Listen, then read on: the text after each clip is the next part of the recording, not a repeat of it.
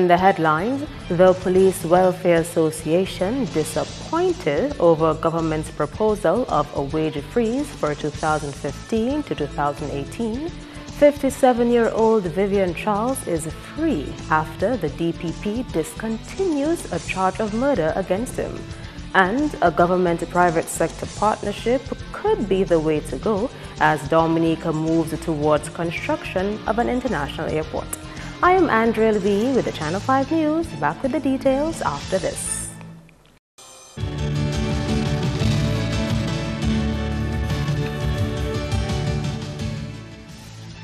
Thank you for staying with us. First up, the membership of the Police Welfare Association met on Friday following government's proposal of a wage freeze for the period 2015 to 2018.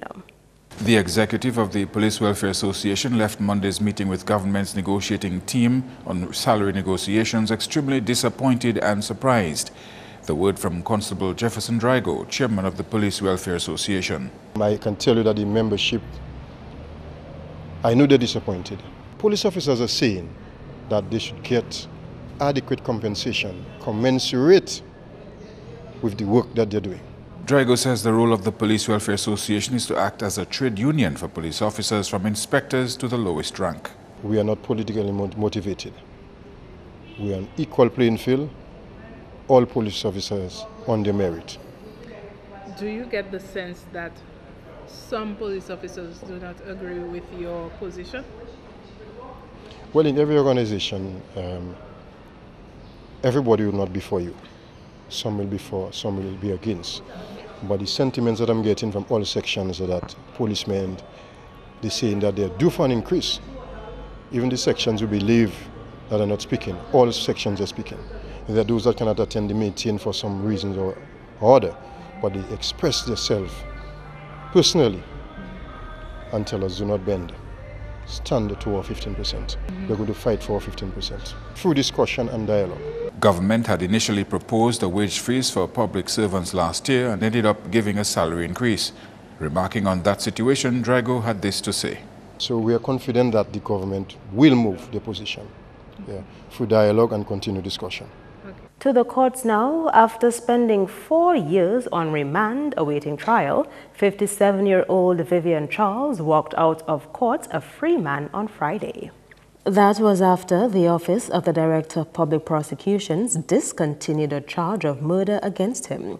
Charles was charged with the murder of Richard Roy Lazarus of Trafalgar in February 2013. Richard's body was discovered 30 feet from the main road in a bushy area at Providence.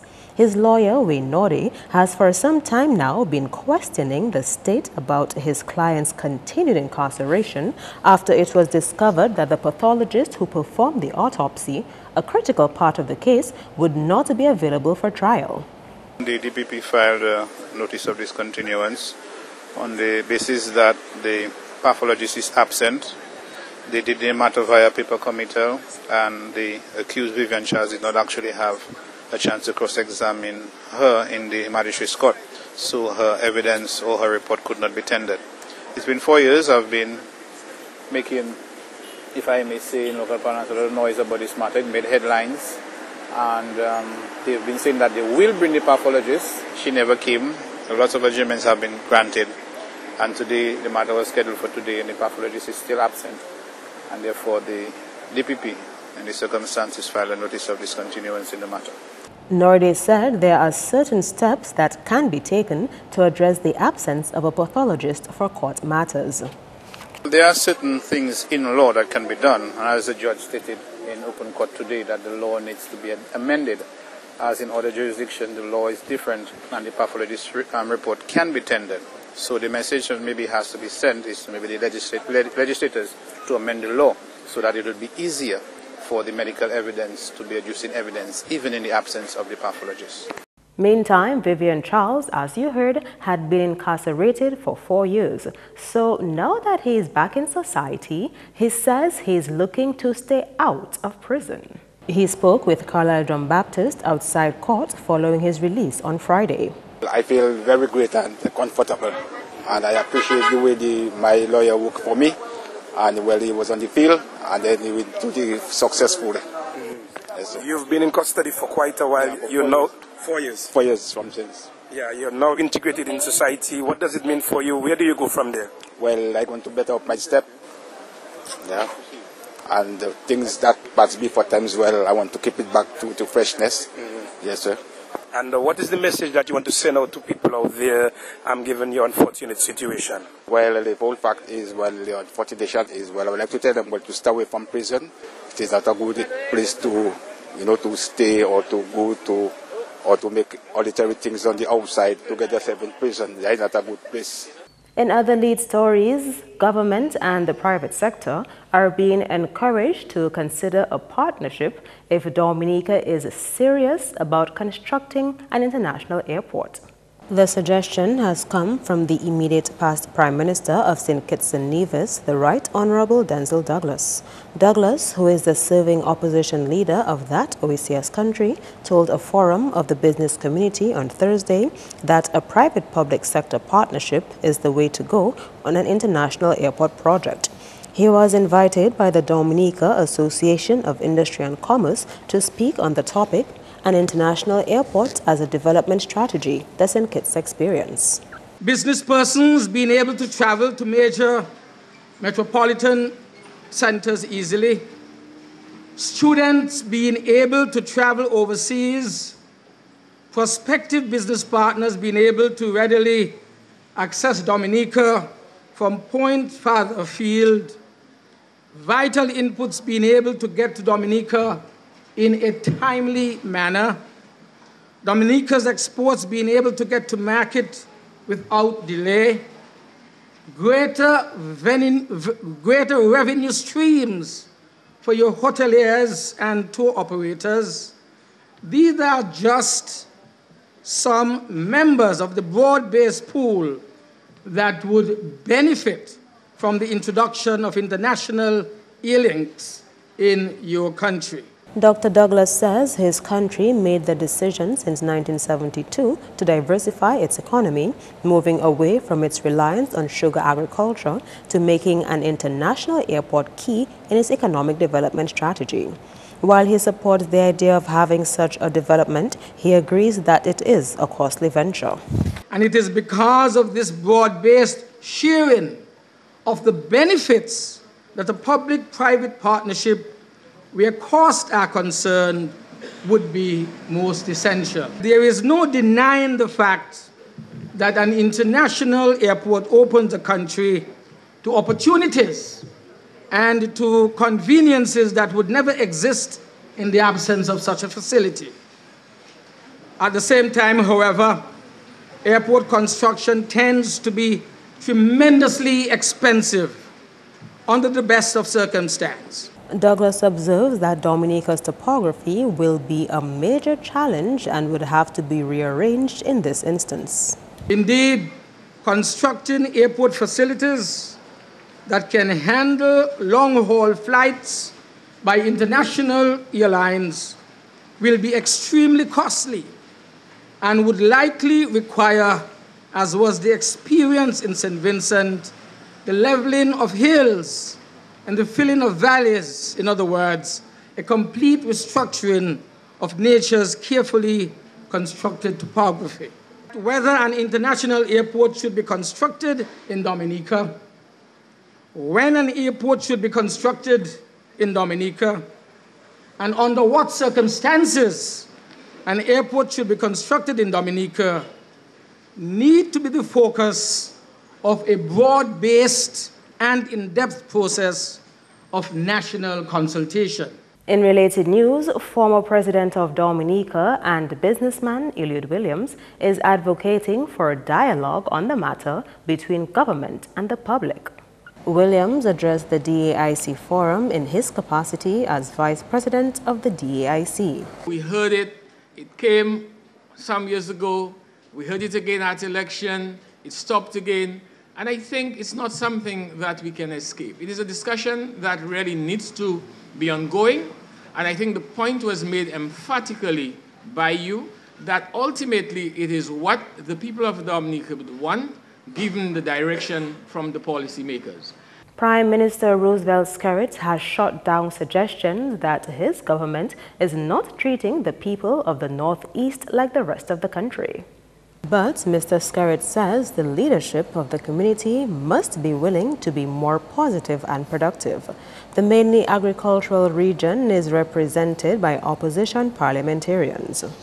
I want you to dispel any notion that has been inculcated, in your minds that myself or this government um, doesn't like Marigot people. That is foolishness.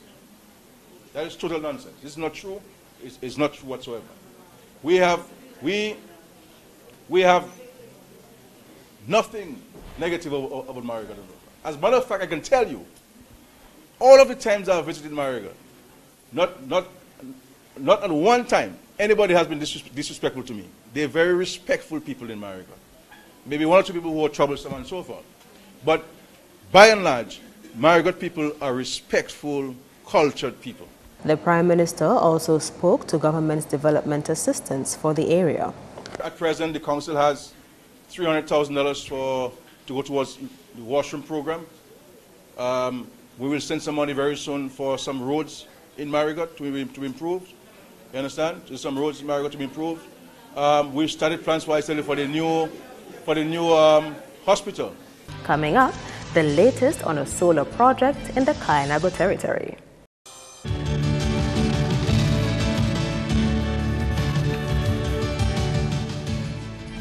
Welcome back.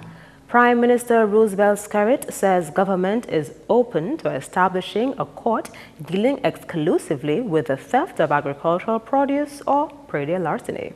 He was speaking to the students of the Northeast Comprehensive School as part of their ongoing 10th anniversary celebrations. Skerrit told the students that it is possible to profit from agriculture. By the time a farmer plants something before it's, it, it, it ripe, it's ripe, somebody's stealing it from him. So it's a major um, matter to, to us and so forth. And, and this is why we are not ruling out from the government standpoint setting up a court to deal specifically with larceny to ensure we can put a stop to it. He went on to say that while pests and diseases are a threat, there is a demand locally and overseas for the country's agricultural produce. For the future of agriculture to be sustained, people like myself and yourself, as young people, must be more actively involved in agriculture. Because our parents who were involved are now 70s. You understand? And they still go to the farms. The question is when they, when they pass on to another life, who's going to replace them? And that's why you see sometimes some farms are abandoned. The father was very hardworking. He built his house on the farm. He bought his vehicle every, every five or seven years from, from his farm. He sent his children to school. But none of the children want to go on the farm. So he has seven acres that are not productive. So we have to ensure we get more young people on the farms. The highly anticipated solar PV project in the Kalinago territory is set to come on stream a bit later than anticipated.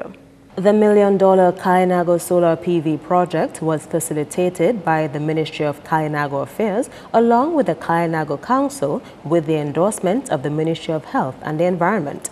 The project was implemented by the DCH Solar Giga GmbH from Germany and was completed over one year ago. However, according to Kalinago chief Charles Williams, some kinks have to be ironed out before the solar project can be connected to Domlec's grid. We have had we have tried um, we have had meetings with Domlec apparently for us to connect the facility to the grid. But during the meeting, we were told that there is some problems with, I think, harmonics on the line. We have since contacted the contractor to correct that. We're in communication with the contractor and Domlec together and hopefully as soon as possible, uh, maybe this week or next week, we will have the engineers, a uh, team of engineers trying to correct what the problem is and for us to get hooked up to the line. The chief says another concern with this venture falls under the terms of the Power Purchase Agreement. A Power Purchase Agreement, or PPA, is a contract between two parties, one which generates electricity and one which is looking to purchase electricity.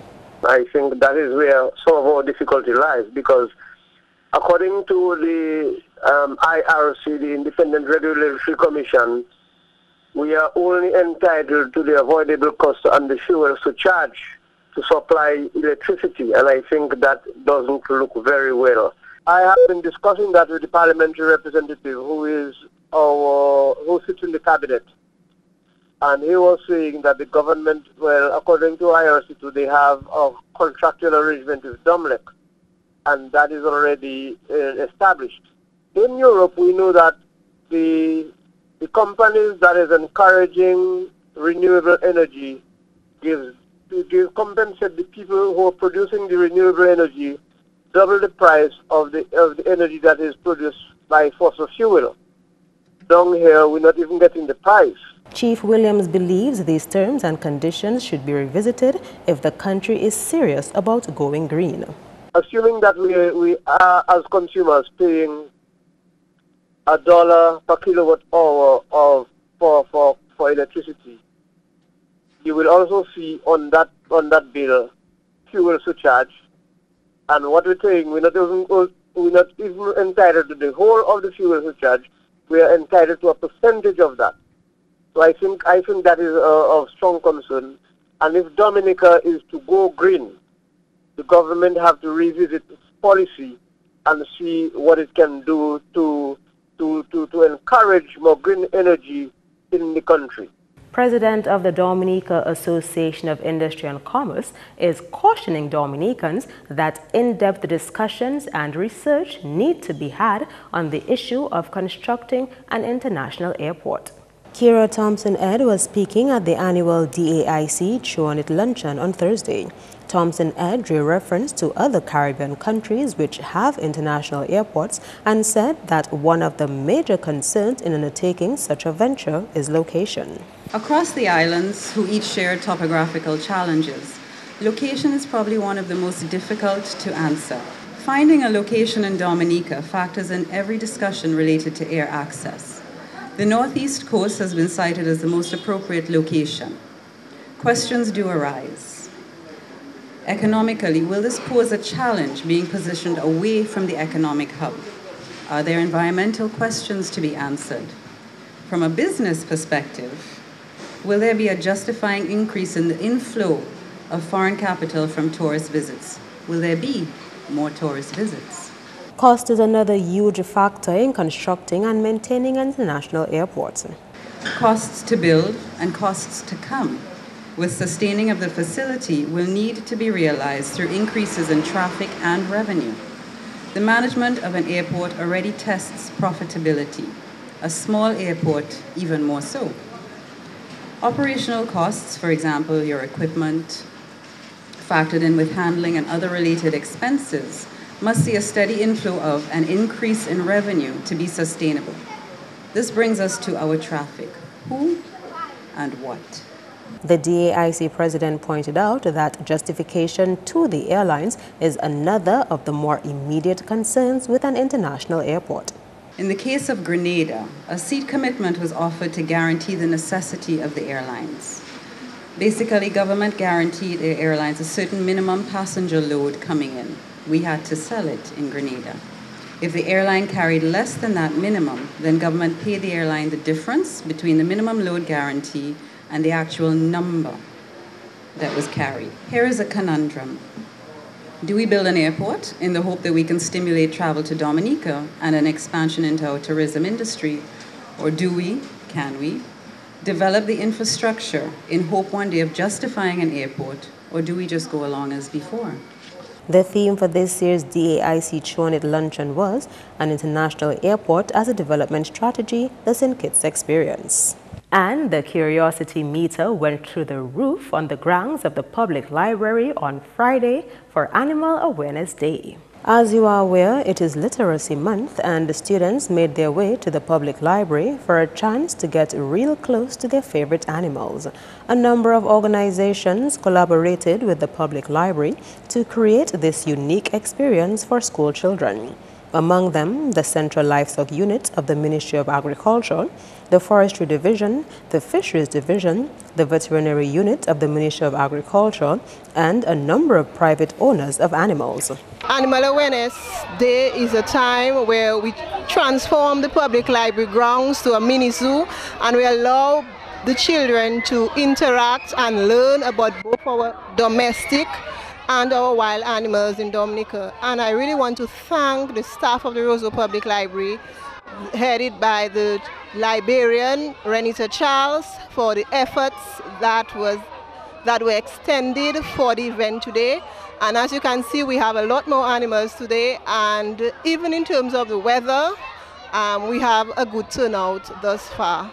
Not too long ago, I did a lesson on farm animals. So this is a great opportunity to take them to view the different animals. One is a wonderful gesture and I hope it continues. The chief librarian is hoping that the annual event can be extended to Portsmouth as well so that the children of the North could be afforded the same opportunity as those of Roseau and environs. That's news. Your sports highlights next with Kenny Williams.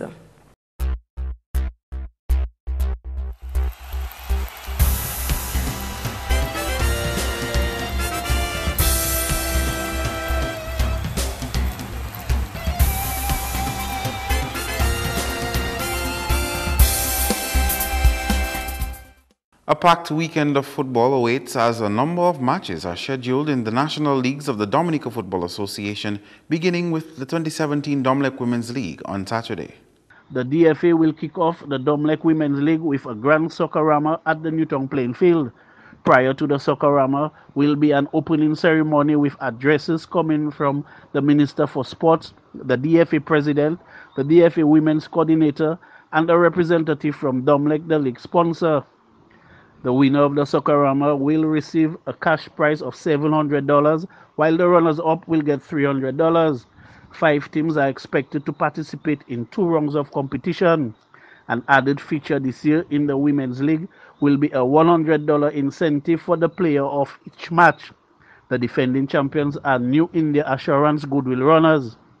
Meantime, the Under 15 Boys Zonal League will kick off on Sunday, 12 March 2017 with two matches where Central Overcomers will take on Western Youngsters at 2 p.m. in the first match of a doubleheader at the Stock Farm Complex, while at 4 p.m. it will be South Stars United versus North Strikers. Meantime, in the Division 1 League, Digital Newtown Juvenile Academy, Harlem United, and the MV and Obamas will go head to head at the Newtown playing field from 4 p.m. on Sunday. And the DFA Sports Division Secondary Schools Girls Competition kicks off on Monday with three matches.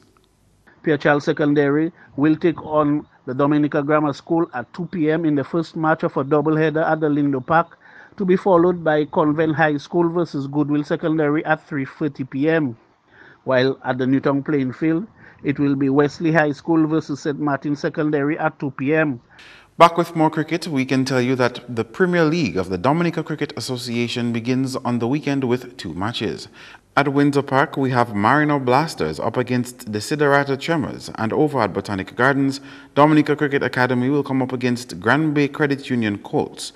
Matches begin in the morning and run from Saturday into Sunday. Meantime, West Indies all-rounder Andre Russell faces the possibility of having his anti-doping ban extended to two years after the Jamaica Anti-Doping Commission, JADCO, launched an appeal over the original sanction.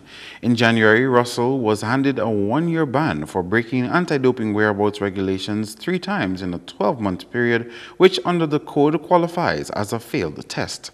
Russell's lawyer confirmed the appeal will be heard with JADCO seeking the maximum two-year penalty.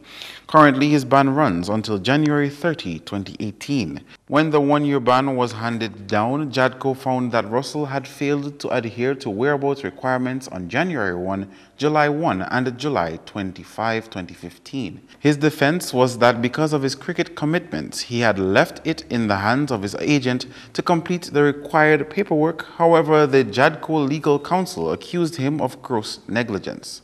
In related sports, despite the West Indies' loss against England on Thursday, head coach Stuart Law believes there are some positives that can be taken from the experience. He noted that England's performance had improved a lot between the 2015 World Cup and now. Similarly, he hopes West Indies can make positive changes to revive the team's playing ability to produce a more consistently competitive cricket product. West Indies lost to England by 186 runs on Thursday and lost the series 3 0. Finally, the sports division will stage the grand final of the District Sports Festival at Benjamin's Park on Sunday. Eight communities have qualified for the final, namely Zikak Chance, Marigot, Castle Bruce, Crayfish River Salibert, Pointe Michel, Goodwill, St. Joseph, and La Plaine. Sunday's final will include football, cricket, netball, volleyball, rounders, basketball, and a track and field competition among the top eight districts on island.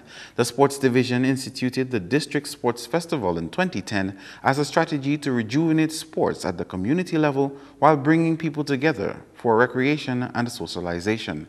Sunday's event is carded for 12 noon. And game one in the semi-final round of the island-wide White Oak Rum Domino competition will slam down on Sunday with Rockers from Paybush up against dangerous public enemies. Also on Sunday will be a clash of Wake Up Stars from Portsmouth versus Dolphins from Scott's Head. The matches are carded for Indian River Bar in Portsmouth. That's all the sporting highlights for now. I am Kenny Williams. Do have yourself an awesome weekend.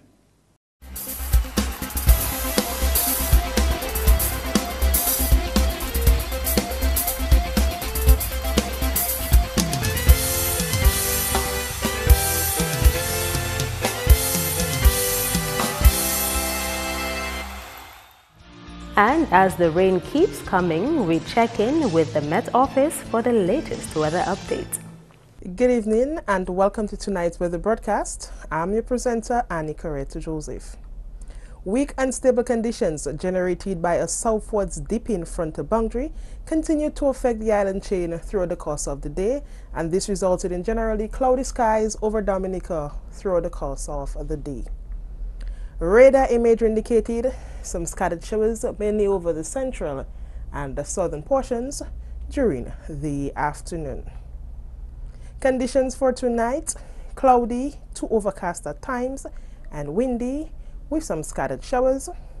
Tomorrow, mostly cloudy skies with scattered showers and windy conditions as well. However, as the day progresses, a gradual improvement can be expected.